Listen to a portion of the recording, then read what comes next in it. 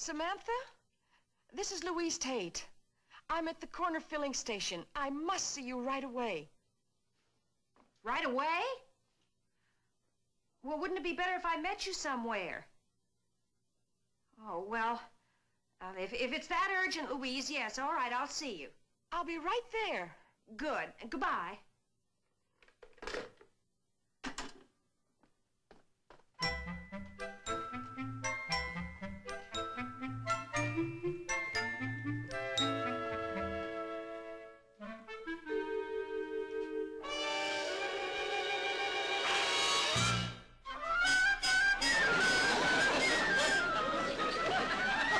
Thank you.